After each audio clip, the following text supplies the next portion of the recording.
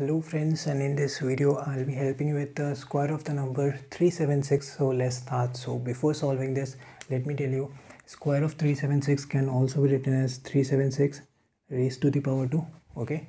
Now coming on to the solution square basically means multiplying the number by itself and the number here is 376 to find square of it we need to multiply by itself. That is 376 and do the multiplication so let's begin with this 6 6 6 is 36 3 carry.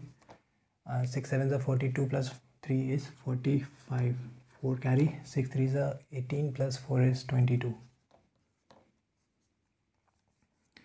now this 7 7 6 is 42 4 carry. 7 7 is 49 plus 4 is 53 5 carry.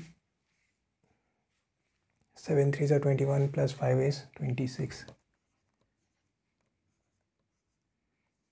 now this 2 6 3s are 18 1 carry 3 7 is 21 plus 2 is 22 2 carry 3 is 9 plus 2 is 11 add everything carefully 6 7 8 plus 2 10 plus 3 13 1 carry 6 plus 2 8 9 10 11 1 carry 4 1 okay so the answer will be 141376 that will be square for the number 376 so that's it so if you found the video helpful please do hit the like button. Do consider subscribing and thanks for watching